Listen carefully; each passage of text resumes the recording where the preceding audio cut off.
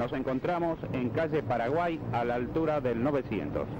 Para ser más precisos, frente al 916 finca ante la cual ocurrió en este sector céntrico de la ciudad de Rosario un episodio muy poco común.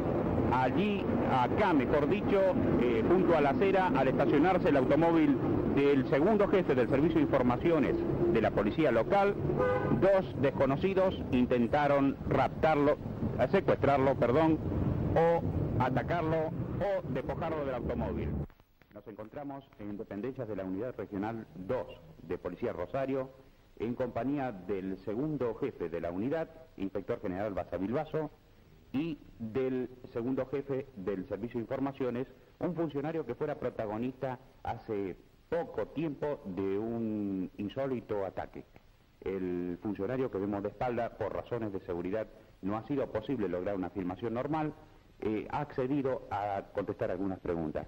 Subcomisario Saychuk, ¿qué aconteció en realidad en el momento del suceso? Bueno, señor, el día sábado, más o menos a las 13.15 horas, contraerme tuma del particular, calle Rioja y Paraguay. Bueno, en esas circunstancias, aproximaron dos individuos armados, trataron de llevarme del lugar. Bueno, luego de eso... ¿Qué tipo de armas tenía? Bueno, revólver calibre 38 largo. Bueno, ese interín, descuido de ellos, logré zafarme. Bueno, luego de un breve tiroteo, traté de irme, no, este, hiriendo a dos de ellos. Dos de ellos quedaron heridos. Uno fue capturado, ¿verdad, eh, su comisario? Bueno, posteriormente sí. Hacerse asistir en un policlínico particular, ¿no es cierto? Fue, este, bueno, fue capturado por la policía, por el comando radioeléctrico. ¿Los restantes? Bueno, se dieron a la fuga. En cuanto a su eh, catadura, ¿podrían ser delincuentes comunes o extremistas? Porque acá se habló de intento de secuestro, la prensa dio distintas versiones. No, son delincuentes comunes. De acuerdo a las investigaciones que se han realizado, descarta que sean extremistas. En el tiroteo tenemos entendido que a usted se le agotaron las municiones.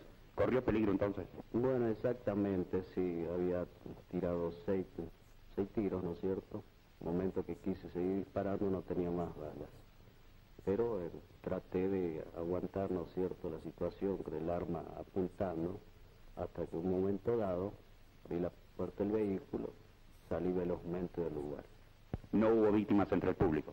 No, aparentemente no. Ignoro si las hubo. ¿Había mucha gente? Bueno, en las esquinas de Paraguay y Rioja, efectivamente, hay mucha gente que está mirando. Inclusive se había cortado el tránsito, todo.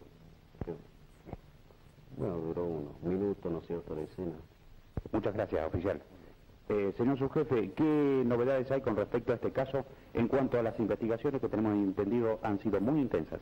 Bueno, se continúan las investigaciones, eh, que por razones obvias no se pueden dar a conocer por el momento. ¿Hubo detenido, jefe, aparte del herido? No, hasta el momento no, señor. ¿Y el estado del herido eh, cómo es en estos momentos?